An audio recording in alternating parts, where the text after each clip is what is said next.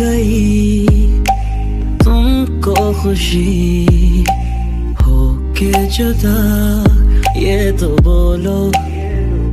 प्यार था वक्त नहीं, जो बीत गया दो पल में। तू बन के याद रहे, फरियाद रहेगा दिल में। क्यों अब एक लफ्ज